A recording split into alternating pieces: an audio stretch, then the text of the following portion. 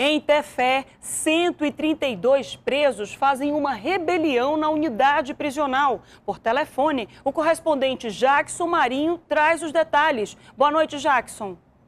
Boa noite, Márcia. A rebelião começou por volta das nove da manhã. Os presos querem a saída do diretor da unidade. O motivo da revolta seria a divisão das visitas. O diretor decidiu que os presos julgados receberiam visitas hoje e os temporários só amanhã. Eles não concordaram e o motim começou. Cerca de 132 presos se rebelaram. Eles atearam fogo em colchões e fizeram pelo menos três detentos reféns. A PM informou que eles conseguiram arrombar uma das celas e circulam livremente pelo local. Um dos presos foi ferido com arma branca e levado para o hospital. A unidade prisional aqui de Tefé fica no centro da cidade, perto de várias casas. Os moradores dos fundos tiveram de ser retirados devido ao risco de ataques. De Tefé, Jackson Marinho para o Jornal em Tempo.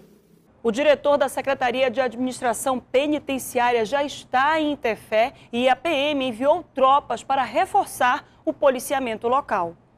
O governador José Melo fez hoje uma reunião com o secretariado. Foi para definir ajustes e cortar despesas. A receita do Estado caiu 8%. Em ano de crise, o governador José Melo quer cortar os gastos e se reuniu com os secretários para definir os ajustes. O governador estima que este ano a arrecadação deve ser inferior à dos anos anteriores. Por isso, a intenção é economizar cerca de 600 milhões de reais. A Secretaria de Saúde é a que deve ter a maior redução de gastos. Nós temos que ir para dentro da saúde pública, que é onde está o problema, para poder ajustar os custos de compra de remédio, de limpeza e conservação, de, de, de, de, segurança, de viagem. As obras que já estão em andamento não vão ser paralisadas, mas alguns municípios afetados pela cheia não vão receber auxílio imediato para recomeçar a produção agrícola. Aquelas cidades que foram atingidas pela enchente, mas que nós temos recursos no nosso, no nosso orçamento via empréstimo, essas nós vamos tocar. Aquelas outras que nós não temos e que teríamos que utilizar recursos próprios, oriundos do ICMS, essas terão que esperar para o próximo ano, porque nós não temos recursos esse ano. Cada secretaria vai precisar cumprir metas e as reuniões com o secretariado devem se tornar rotina.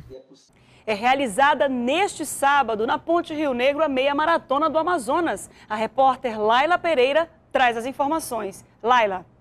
Márcia, 2.100 pessoas se inscreveram na quarta meia maratona do Amazonas. Esse é o segundo ano que a competição acontece na Ponte Rio Negro. Estão acontecendo duas provas, uma corrida de 21 quilômetros e outra de 7 quilômetros, divididas nas categorias feminino, masculino e deficiente físico. As premiações variam de 100 reais até R$ 3.500. A meia maratona é, a nossa, é o nosso carro-chefe, é, é a nossa atividade de maior ênfase e na qual, sendo a quarta maratona que acontece aqui na cidade, nós estamos trazendo, engrandecendo a cada ano que passa, inclusive trazendo corredores de fora. As provas da meia maratona do Amazonas devem terminar por volta das nove da noite. Laila Pereira para o Jornal em Tempo. Duas mil pessoas foram beneficiadas hoje com vários serviços no Clube do Trabalhador. Foi o dia de cooperar, uma ação realizada em oito estados. 23 estandes foram montados. Vários serviços oferecidos, como o teste de glicose, teve fila para tirar dúvida com os especialistas. Porque na família já tem já gente que tem esse tipo de doença mesmo. Tem que ficar vigilante, né? Isso. Muita gente também vem em busca de serviços como emissão de RG, CPF e carteira de trabalho. É da minha filha que estou tirando. O Dia de Cooperar, uma ação de solidariedade organizada em várias capitais do país, reuniu cooperativas de Manaus e instituições como o CETAM, que trouxe oficinas de maquiagem e corte de cabelo para a feira. Isso é uma forma de que eles possam crescer mais profissionalmente e trazer mais a, a satisfação para o público que está participando dessa feira maravilhosa. Em mais de oito horas de ação, duas mil pessoas participaram. Faz parte do Juntos pelo Bem, que é uma campanha do Sistema OCB, em comemoração ao Dia Internacional do Cooperativismo, que é comemorado todo sábado, primeiro sábado de julho. A ideia do evento é promover a integração e a promoção social entre as cooperativas, os cooperados e a sociedade em geral. Daqui a pouco, 300 quilos de pirarucu ilegal são apreendidos em Tabatinga. É já já.